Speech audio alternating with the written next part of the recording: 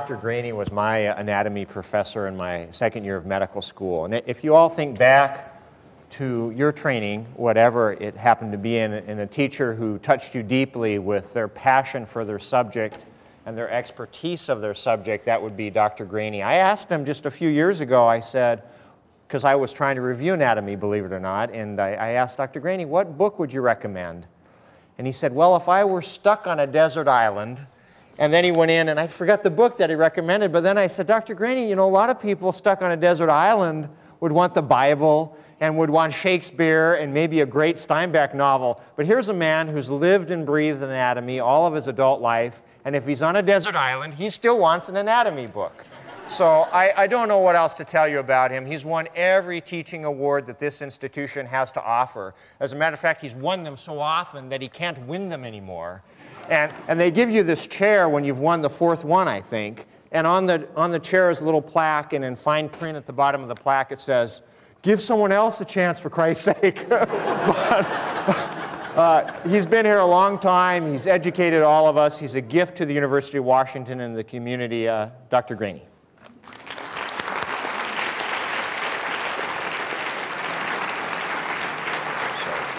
Thank you. Uh, I've been um, uh, intrigued by uh, this evening, and uh, certainly I've had a chance to uh, be here before doing the anatomy labs. This is my first time to be here uh, in the evening, so I want to thank all of the, the, uh, the sponsors of this program for inviting me here to present to you tonight. it was interesting to me to hear Dr. Reyes speak because basically it was my life in terms of where medicine has gone. Um, I started graduate school in the late 50s, and I was a graduate student at the University of California, even back in the late 50s, 59. I met my wife, who was a nurse at University Hospital there, Moffitt Hospital. And uh, it turned out shortly after we were married, she was invited to be a charter nurse in the intensive care unit there. And so many of the transplant things, the initial kidney transplants done at Moffitt Hospital, my wife was a part of there when Dr. Najarian was doing those uh, transplants and later went on to the University of Minnesota. Um, you heard about the, the sort of experimental procedures that were done and how often, you know, things succeeded, but many times they didn't. And I can't count the number of times that I would meet my wife at the end of a shift and she'd be in tears because they'd just lost another patient uh, from a transplant or a patient who had the, uh, couldn't get kidney transplant or kidney um, dialysis because they didn't have dialysis in those days. So many, many things have changed. And as I look over the 50 some odd years of my being around medicine, I'm not an MD, I'm a PhD, which doesn't mean phony doctor, it means a doctor of philosophy, all right? and so um, uh, I do not have clinical experience, but I've been around a lot of folks who have a lot of clinical experience, and some of it has rubbed off. So I'm supposed to talk about two things tonight. Uh, first of all, I was going to talk about the body, uh, the Willed Body program, and um, then I was told, yes, but you know, many of you who are here have been trying to get into the anatomy labs and have not succeeded, so I should say something about anatomy. So this is kind of uh, two sides of the fence. I will give uh, the Willed Body program uh, some time, but it will be brief, and then I will move on to talk about some anatomy. I've chosen to talk about head trauma tonight because it's sort of not only some anatomy, it's a little detailed, and I will be on full jet takeoff here with when I start moving, as I told some of the others my, I'm infamous for speaking way too fast, all right? But given the time and so forth, we will move along. Uh, so uh, I, let me start with the donations. Uh, I have been involved in the Willed Body program, uh, quite frankly, from the very first day I came here. All of us as gross anatomists helped to uh, take call in evenings and weekends when somebody had passed away to review their case to see whether or not we could utilize their remains uh, in our anatomy programs. So um, I wasn't here in 1945, as this shows up here, uh, but the Willed Body program was in existence here even before the medical school began. There was a small program here in Allied Health, and cadavers were used for that. Donations are arranged by individual donors before death or by the family after death. Many people think they have to sign up ahead of time. We prefer that because it gives everybody in the family and the donor all the information they need to know.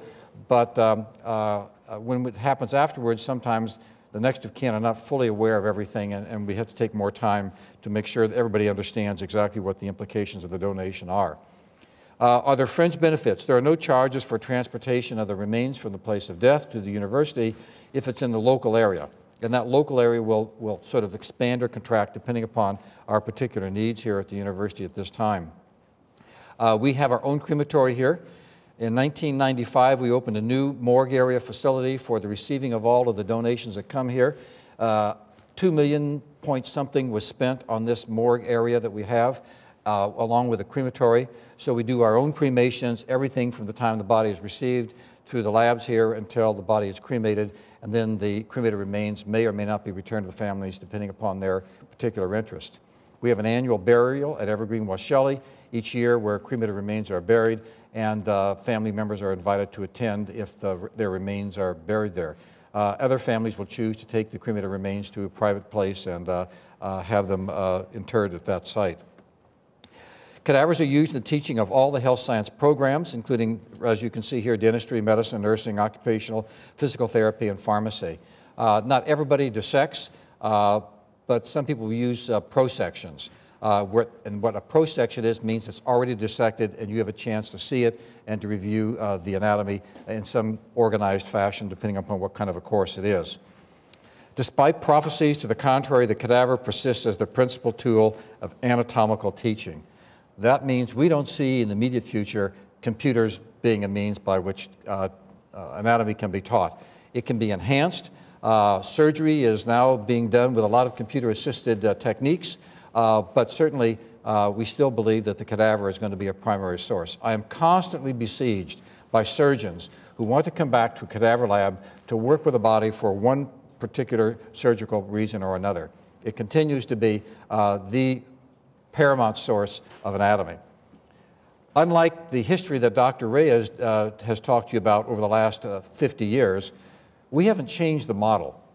So all bodies are pretty much the same and that makes it much easier for the surgeons. So It's difficult enough, but this makes it easy. There's no new models each year. so, um, now I have a little thing that I always talk about. I mentioned it to the last group. No student is allowed to dissect good any cadaver laying on a table. However, all students are encouraged to dissect well the cadaver lying on the table, all right? A little bit of English. In medicine, we never say dye, it's always dissect. Radiologists do not inject dye, they inject contrast material. There's only maybe one dye that's used around the eye, fluorescein dye, but outside of that, we do not use dyes.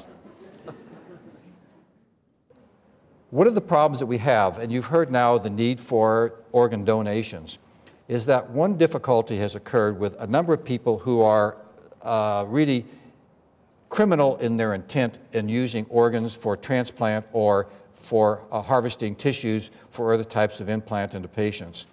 That has created a lot of negative press for some of our medical schools and our hospitals around this country. For a while, uh, I was beginning to think that it was going to impact significantly on our willed body program. I'm pleased to say that um, if I look at what's happened in the last week, we are doing very well. Uh, we are going to continue to need about 200 bodies a year at this university to maintain our educational programs. If for some reason something happens and people stop giving their bodies to medical schools, and by medical schools I mean health science centers, because these bodies are used by all the participants here in this health science center, uh, that uh, we would be in deep trouble in terms of our educational programs. We could not survive in terms of the teaching that we need to do here without uh, these such donations. Now, are we in competition with organ uh, donor transplant? We are not really because most of our donors are pretty much beyond the age of being an organ donor. So we have donors from 70, I think I saw one in the lab the other day who was 105. All right?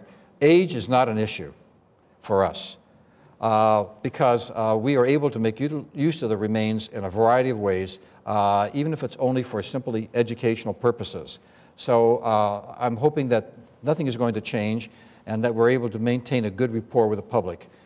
Our program exists on the altruism of all of you. Without your altruism, we would not have bodies here. The bodies that we have upstairs in the lab are donated to us. All of ours come from people who've signed papers or their families have signed papers, and uh, we were able then to utilize the remains. I can say more about it, and if there's some questions at the end, I would be happy to, uh, to, to uh, uh answer those questions. But uh, let me just say that this is a vital program, and it's not just here for the University of Washington. I would uh, point out that, uh, as you've already heard, there's a WWAMI program, now a WAWAMI. I like to call it Washington WWAMI. which is Wyoming, Alaska, Montana, and Idaho, because Washington started the program. Uh, we, we basically service over somewhere between 35 and 40 percent of the United States uh, geography. The landmass of the United States, 35 to 40 percent is WWAMI territories. Uh, we have one medical school for all of that. That's this institution right here. We have students in Wyoming, Alaska, Montana, and Idaho in their first year, but then they come here later. And uh, so we are the principal side of all of this. We do provide a few bodies for Alaska and uh, some for uh, Idaho uh, and Washington State University. God forbid I should say that because sure enough, there's going to be a Husky who says, please do not send me to that land of the Cougars. We'll do the best to, to uh, take care of any of your special needs. I really want to move ahead because I would like to say something. I mentioned to you that I have a PhD, I'm not an anatomist, but I've learned a lot from some of my clinical colleagues. And I try to bring clinical uh, issues to this, my teaching, and one of them has to do with head trauma. And one of my neurosurgeon friends who came and talked to my class before we started reducing the hours, and he got so busy doing a number of other things, uh, that he would always present this slide. He said, when you have a patient who's been traumatized, the things that you're looking for is their level of consciousness. Obviously, if they're unconscious, there's a problem. Um, if they're is there hemiparesis? That means are they paralyzed on one side or maybe both sides? Are there eye signs? You hear about this all the time in ER. Those of you who watch these medical programs. Fixed dilated pupils, that's bad, right? The vital signs. What's the blood pressure doing? What's the pulse rate, uh, et cetera, cardiac rate? Uh, and then, of course, the very end stage, which is death. So this neurosurgeon would say, look, I want you to know all of this because if you are the uh, healthcare person who calls me when the vital signs change, I will get to the hospital in time to pronounce the patient dead. All right? I can't do anything when it gets to that point. The patient is already so obtunded in terms of their neurology uh, that they cannot recover. So these first three, first three things are very important. So I've kind of brought this to a lot of my teaching. So here we go. Anatomy 101 in 20 minutes. we all know there's a brain and a spinal cord. Uh, the terminology that we often use is the central nervous system. The peripheral nervous system are the nerves that are out there in your arms and your legs. The central nervous system is the brain and spinal cord. You know where the brain is, you know there's a spinal cord inside the vertebral column. Spinal nerves pass out to supply all the muscles and supply the skin. These uh, parts of the central nervous system, whether it's the spinal cord or the brain, have coverings. And some of you have heard that these coverings are called the meninges. And when the meninges are infected, we call it meningitis. So uh, the meninges are composed of three things the dura, which is the tough mother. Some of us are raised by a dura pater. Uh, but in any event, um, that's the thick layer. There's also a spidery layer, which is the arachnoid. You remember your zoology, the spiders were the arachnids, all right? So there's a thin layer. And then finally, there is the pia mater, which is the very thin, delicate layer that overlies the brain or the spinal cord. You can't separate it. You can't pull it up and hold it in your fingers. You can pull up the arachnoid and you can pull up the dura. So here, when you look in at a uh, little more detail of a, of a spinal nerve, you can see the dura that surrounds it, all right, uh, and the arachnoid is underneath it. I will show you in a moment when we get up inside the skull that there's also something that separates the arachnoid from the spinal cord or from the brain. The arachnoid is elevated away because there's a fluid layer there. There is the cerebral spinal fluid. And so the brain and spinal cord are bathed in a fluid that runs all the way from inside the skull down to the very bottom part of your uh, spinal cord. When you look at the spinal cord, it looks like a little white thing, all right? If you look more carefully, you will notice that the outside layer is more white, so that's what you're seeing in these lower pictures over here. The center part is, is gray. Gray means there's cells there, neurons. A neuron is a, is a cell that's specialized for neural activity. The white part is the fiber tracts. So if any of you, the men maybe here, been down to your entrance panel and looked at your entrance panel, you know there are good ones and there are bad ones. And the bad ones are where wires are going every which way. And the good ones are when they're all lined up and carefully bundled so that all of them are in nice, neat order. The spinal cord is the latter. All the nerve fibers are bundled in very good order and sorted out in terms of function. So what that means is, that's the good part. The bad part means is that sometimes if you have an injury, you have a major injury because all those nerves are having a similar function, and when you wipe that out, you wipe out a significant part of the function. So here, for instance, now is the brain up above. Here are some tracts that are going down to the spinal cord, going out. This happens to be a motor tract. This little guy up here that looks kind of disproportionate is a homunculus. A homunculus is designed to show the amount of cortex uh, dedicated to a particular function. So you notice how your face and your hands and even your toes have a lot of cortex because these are dexterous portions. Your lips are very sensitive. Your face skin is very sensitive. So you have a lot of cortex devoted to that for either motor or sensory function. Another little thing here, when you look at when the brain comes down and it sends these uh, fibers down through a basal portion of the brain, this little V over here, that little V is called the internal capsule. The internal capsule is a space where all these motor fibers make their way down or go back up because obviously you've got motor down and sensory returning. It comes through this, and you can see how this is all mapped out over here.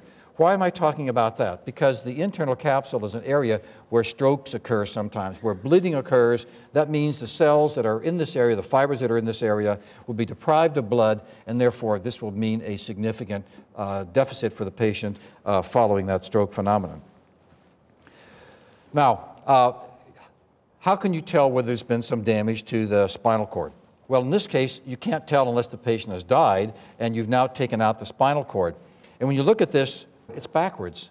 Remember I said this was the gray and that was the white? Why is that white? Well, we stained it with silver. That makes it go black. If there are viable uh, fiber tracts there, because of the myelin, the fatty layer there, that will pick up the stain and the, the silver will turn it black. These areas are white. That means those are degenerating neurons. Now, these are names here, for instance, for amyotrophic lateral sclerosis, ALS, Lou Gehrig's disease. Here you see the areas of degeneration. Here is another one where you see this combined sclerosis. All this white area means that these patients have lost significant fiber tracts, which in, in some of these cases have been related either to their motor function or to their sensory function. And so when they're trying to walk, they walk like they're drunk because they can't actually feel where their heel strikes. Uh, their skin and uh, joints are not proprioceptive anymore. They can't sense that bit of balance that they need to be able to progress in a natural way. Uh, this is a problem because sometimes people interpret their disabilities, you know, he, oh, there's a goes another drunk down the street or whatever, just like diabetics who have the, their problems and become sort of non-functional for a period of time. Uh, it's important that they wear bracelets so that, that they, people can identify the fact that they have a, a problem. All right, well, now let's go up into the skull. Here it is, the skull. Lots of bones, 22 bones. Never asked that of a, of a medical student. Uh, it's hard, all right, unless you're a baby. And then the skull is soft. And it's not all hard bones all locked together like they are in us hard-headed old guys, okay? And the soft heads move, all right? They flex, and when the mom gives birth, the head adapts to the birth canal, and things work out well for everybody. if you've been ever feeding a, a, a, baby a bottle, all right, and you look down, the head bounces up here, all right, it's because there's a pressure change. What pressure is that? Well, it's the central, it's the cerebral spinal fluid. There's fluid there that's in communication with all the, the blood vessels basically around that. And since there's venous drainage of the brain and all this goes back to your chest, as your chest pressure changes, it actually is reflected through your veins up into the skull, and therefore you can actually see uh, different uh, pulsatile effects of all this physiology as it goes on. Now, here's another case of a skull, which is in two pieces. I first saw this in a book some years ago, and they said the pink part is the neurocranium because it contains the brain. The green part is your face, so we call it the visceral cranium because that's where you put the food. And I thought, gee, that's that's an awful lot of energy just to sort of separate it until I got around some plastic surgeons and found out that this is also what's called a Le Fort 3 midface fracture. People have this happen to them, all right? And uh, for a long time, this was a disastrous uh, event because the whole face would elongate as your whole jaw and so forth separated from the side. Uh, as you can see here, now obviously you still have skin and tissue there, so it doesn't quite uh, separate as much as you're seeing in this picture. But uh, one of the marvels of surgery nowadays is, is that uh, we've first of all developed better anesthetic skills and better uh, ER skills so that we can now operate on these patients sooner rather than later. In the old days, you had to wait for these patients to stabilize. and By that time, their fractures had healed. And now trying to fix these things were great difficulties. You'd have to cut bones and try to put everything back together again. And these days, with all the fancy hardware that they have, plates of all sorts of shapes, straight ones, Ys, Ls, all kinds of things with screws, screws that are multi-dollars per screw, okay, and multi-dollars per plate. The hardware industry is very big, all right? I'm not talking about Home Depot, all right? So what they do is they get a Makita out, all right, and they sit there and go zip, zip, zip, and put all these little plates on, and they can stabilize these fractures much more rapidly than they could in the old days. So it's made a big difference in how people can uh, have their, their uh, facial fractures and other parts of the body. Uh, in the earlier uh, uh, session, I talked about how people were hospitalized for extended periods of times with broken bones. Nowadays, with fixation, whether it's internal fixation or external fixation, you can get patients out of the hospital and avoid a lot of the other uh, so called morbidity that occurred from these extended hospitalizations. now, speaking of evolution, we have two skulls here. The one on the left is a human, the one on the right is a gorilla. Now, we all know how violent gorillas are, right? I mean, they sit in the jungle and eat their berries and their other kinds of, of you know, uh, vegetative growth really, gorillas are not uh, carnivores. They don't eat much meat unless they're in a battle or something, or a male is trying to kill off the young to start his own new uh, uh, little city. But if you look at this, here's this big gorilla over here. Look at all the bone around his eyes. Here's his skull. You can't see it. I didn't quite get it all in the frame here. Look at this great big thing. It's like a keel. Remember the Thanksgiving turkey? It's got that big keel where all the, the breast muscles over here to, for the wings. Why would this this uh, gorilla have a keel on top of his head because he's got muscles that come down and move this massive jaw over here. So even if he did want to get into a fight, he's got a pretty good weapon over there, all right? So if you looked again more carefully, you'd see that the brain case for the brain of a gorilla is significantly smaller. Now we transform over to the human. Big brain case, big brain, small teeth, small mandible, no keel, all right? So we have evolved in this osteological evolution what about the brain? Well, I would suggest to you that if you visit any of the ERs around here on Friday and Saturday nights, sometimes known as the knife and gun clubs, that we have not evolved. we are still at this level over here, all right? We need that skeleton to protect ourselves. Unfortunately, it's a sad commentary on our behavior. You know, we've evolved in terms of our osteology, but our brain power is still lagging. All righty let's take a skull and look in the inside of it. And I always tell a medical student, it's, like, it's not like the bottom of a bucket where everything is nice and smooth. There's a big hole there. Some of you have heard of it, the foramen magnum, because this is a, it means a large window. Foramen is a, is a window. Magnum, obviously, magnum guns are big guns, so this is a big foramen. Um, and it's sort of set up here such that I call these Japanese terraces. You know, you've seen these Japanese gardens that are all terraced out with different things on different levels if you look at this, you'll see that this particular terrace over here is higher than the next one, and then this one back here is even lower. We call these the cranial fossae. There's an anterior cranial fossa, a middle, and a posterior, and they're there to contain certain parts of the brain. There's also other holes here, foramen if you will, which allow the other nerves to go out. The brain has 12 nerves, so the nerves that come from the, from the brain itself are called cranial nerves, and they all have a different function. So here's the brain. This is the cortex, this is the cerebellum, and this is what we call the brainstem. We can color that so we can say there's a frontal lobe and a parietal and a temporal lobe, so they're different parts, and they have different functions that we uh, recognize. The cerebellum we don't worry too much about. It, has an important function that's related to muscular coordination, and injuries to this will cause problems with gait and movement of your limbs, et cetera, but uh, beyond that, we don't really have any intellectual function there. The brainstem is the site of where most of our cranial nerves are passing out to do their things. So when we look at the brain over here, here's the whole brain, there's the cerebellum back over here, here is the brainstem. Now, you may have heard of the, something called the mesencephalon, the middle brain, the pons, which means the bridge. If you've been to, to Florence, you know the Ponte Vecchio, all right, the old bridge, all right. Well, this is the, the, the pons here for the brainstem. Then there's the medulla. Now, the medulla is actually oblong, so it's called the medulla oblongata, but we never say that. We just say the medulla. If you're in, on television, you might say that to impress people with your magnificent knowledge of, of anatomy.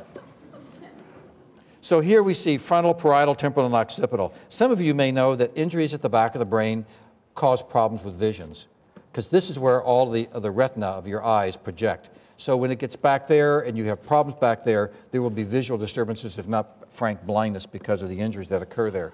Other areas of the brain, temporal, speech, and hearing. Uh, and then we mentioned over here a moment ago, big strips for motor and sensory. Uh, the pre, uh, the strip out here in front is the motor one, and the and the post central is the sensory one, so that there's big areas of cortex devoted to all these functions.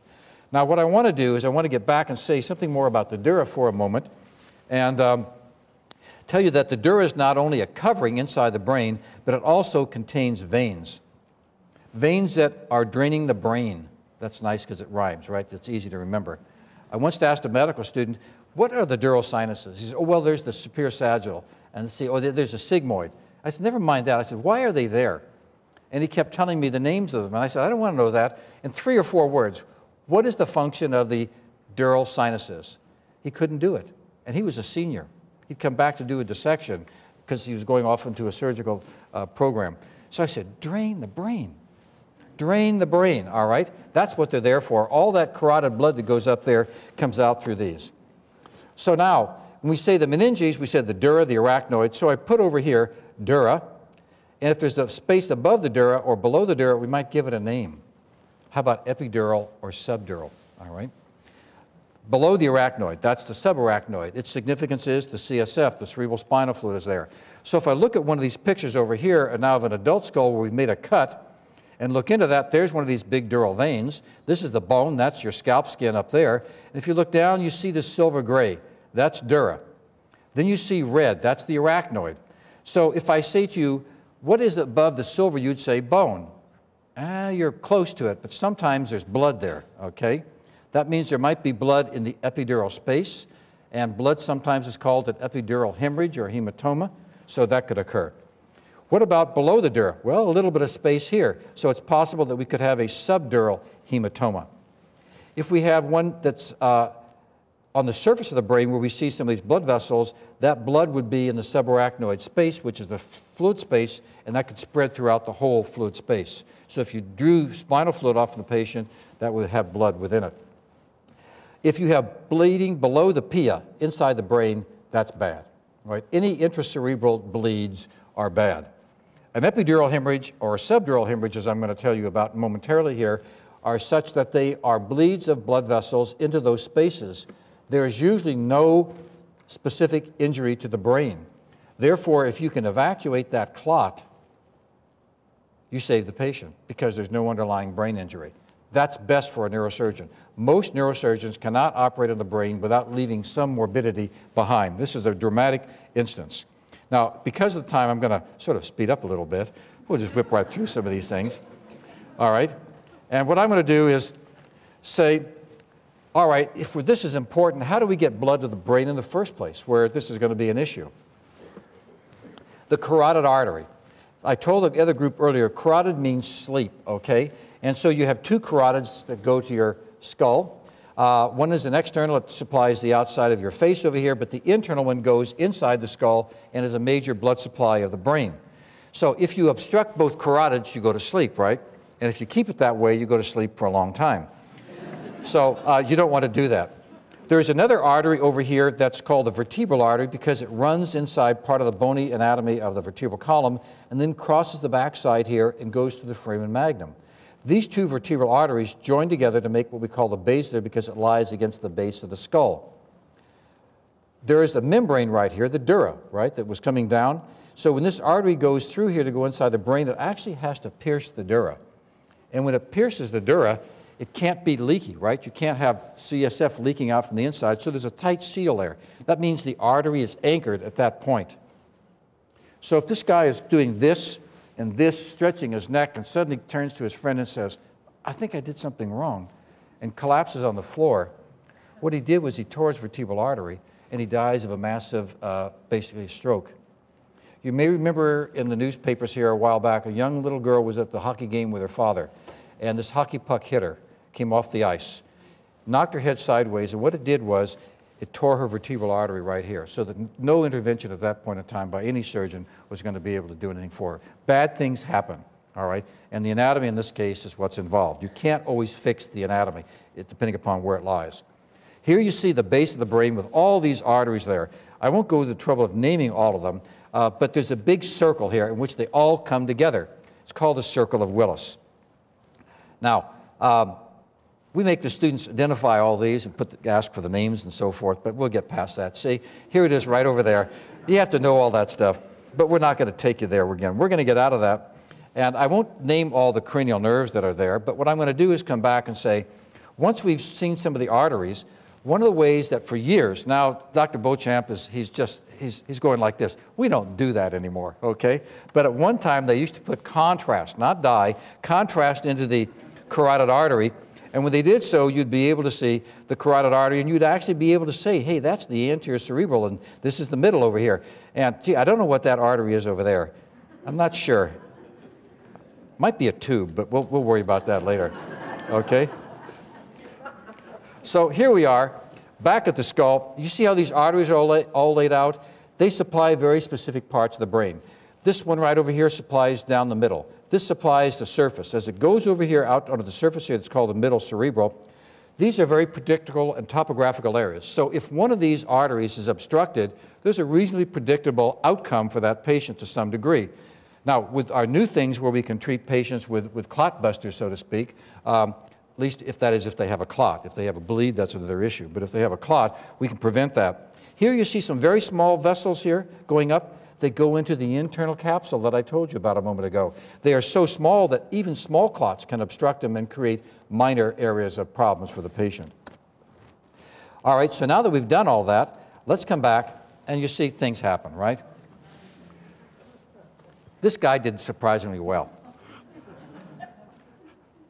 I tried to figure out how, I won't, I won't waste your time, but the moral of this story is don't release the safeties on your pneumatic nail guns, okay? You work faster, but it doesn't work. So let's come back to somebody who's been traumatized. Level of consciousness, hemiparesis, eye signs, vital signs, and death. So here we go. Here is the skull. There is dura. We've taken the bone away, and on top of the dura is an artery. It's called the middle meningeal artery. Well, you could tie it off at birth and nothing would happen. It's not important, but it's there. If you now look at this artery, you say it can't be there. There's no space between the bone and the dura, right? Well, if you look on the other side over here, you'll see how during growth of the skull bones, it's actually a little bit of a ditch, so to speak, a little excavation where this artery lies in life, and then it's tightly bound down by the dura. Now, we've taken the bone away so you can see where that artery is sort of raised up, all right? So what do you suppose happens if you crack a little bone with an arcing fracture line that goes zip, zip, zip, zip, zip, okay? You tear the artery. It may look hairline on the x-ray, but at the moment that happened, a big separation occurred. You've got a big bleed. Where is the bleed? It's between the bone and the dura. What kind of a bleed is it? Epidural, all right? This is an artery. Is the hematoma going to get big quickly or slowly? very, very quickly. Untreated, these patients, when this is significant, are dead in less than 24 hours. All right? This is, this is critical. All right? Now, what happens is, as this clot gets bigger and bigger, it pushes down on the brain. And it starts pushing and pushing until pretty soon part of the brain is going to be pushed down into the foramen magnum, as I'll show you in a moment. All right? Uh, some of these, if they are subdural, and as I'll show you again in a second here, if they are subdural and not epidural, they, because of the natural pathology here, they grow over time. So the moral to this story is epidurals get bigger quickly and cause death sooner. Subdurals uh, may last as long as four, six, maybe even eight weeks before they actually put enough pressure on the brain that the patients become symptomatic. So here we go. This is a lady. Uh, she was in her 70s. She hit her head on the windshield. Nothing happened. She felt fine. But about four weeks later, they noticed that she had a little mild seizure. She hadn't been herself lately. She was kind of a little bit slow, and she was speaking with a little bit of a slurred speech. So, again, we did a nice little angiogram, uh, and we look over here and we see there's a problem in that the surface of the brain isn't going out to where the cortex is. Now, one of the things about this is that you should be there when these happen because it's dynamic. People always hate showing uh, angiography as still images because when you're there, it's in real time and you're seeing all this happen. So if you are watching that artery, where's the blood going to go after it gets out of the artery? Into the capillaries. And now you see the, the sort of uh, curl, coiled area, not very well defined structurally, uh, of the capillaries, but you see that same space. And now you wait another minute or two or, or less, and now that contrast is in the veins that are coming off here going up to where these dural sinuses is. And now again, you can see the space. So it's clear this patient has a subdural, all right, uh, and she was uh, operated on, the clot was removed, and shortly thereafter, uh, she returned to normal function. Why? Because she had no brain injury, all right? She only had a clot. Here is the case of an epidural, as we see over here, which has now progressed to the point where, if I get over here, where um, it's pushing the brain, and now it's actually projecting down so that this medial part of the brain is compressing the brainstem. The brainstem is where all your cranial nerves are that regulate your blood pressure. Remember, we talked about these things of blood pressure, heart, heart rate, breathing, all those kinds of things. This is all being compromised by pressure and by pressure on the blood vessels that supply those centers. This is the patient, untreated, who will be dead uh, very shortly. So, my next door neighbor uh, is up in Alaska. And um, he's showing his, his uh, executive from uh, out of town around. And in the process of going from the hotel out to dinner, he slips and falls on the uh, parking lot, cracks his head, and gets in the car, and they go out to where they're going to have a drink before dinner. And so um, turns out the man says, Well, you guys go have a drink. I'm going to stay in the car. They came back, drove to another place where they had uh, actually they had a drink in the first place. The second was a, was a dinner. And he says, No, I don't want any dinner right now. You guys go and have dinner. So this is now probably about a good hour and a half or so, or better, after the accident. They're coming back to the hotel, and there are four of them all together. The executive is in the center, two of the other people are there, and my neighbor is walking behind them. And he looks down and he sees that this guy is dragging his leg. Okay? Now, level of consciousness. Is he unconscious? He's obtunded. He's not quite with it. That's why I didn't want to get up and go, right? What's his, is he hemiparesis? Yes, he is. If you looked at his pupils, he probably would have been unequal, all right? And so my neighbor says, you know, I don't think we ought to go in there. I think we should take this guy to the hospital. And I said, now you got a dilemma. I said, because in this city at that time, there's no neurosurgeon there. But there was a general surgeon who was trained in the old fashioned way, went through all the subspecialties. He did the burr hole, went in there, and fixed up his middle meningeal artery, and this patient survived because of the fact there was no brain injury. Now, that's not to say that every head injury is only an epidural or a subdural. Those that involve brain injury are obviously tragic things that are going to leave some significant uh, disability for the patients if the patient survives. But there's no reason for patients who have a, a hematoma not to be recognized and treated in a timely way. I mean, I can just go back through the newspapers around here that have, that have uh, told the stories of people who have died uh, because they had some head trauma. The lady who was here before who said her son died. Now, he probably also had intracerebral problems. Had he had only a epidural hemorrhage and treated early, that could have been taken care of. One of the cases here was a school kid who, was, uh, who fell at one time and was taken to school nurse. His mother picked him up, took him home. Uh, she put him to bed. He got up at 10 o'clock at night to try to go out to go to the bathroom, collapsed in the hall, and was dead at 3 o'clock in the morning at Harborview. That was an epidural hemorrhage. He could have been saved. So, what is the moral of this story here? Level of consciousness. If somebody is unconscious for any period of time, they probably should be on their way to the ER, all right? If they're showing signs of hemiparesis, certainly uh, the other part about eye signs. So, you take your child home, he's hit his head playing something another, he got hit in the head baseball, he wants to lie down for a while. You wake him up in an hour. You look at him. Can you talk to me? Shine a little light in his eyes. You don't have a pin light. Use the bed lamp, whatever you've got. Look at the pupils. Are they equal or not? Take his arms, pull on his arms, and say, Don't let me pull your arms away from you. If one side is weak, you want that boy to be, or child to be headed to the ER right then and there because a neurosurgeon is going to need to intervene in this. So that's anatomy. It's a lot of names. But it all comes down to better care for all of us, and I hope that this has been of some help to you. Thank you very much.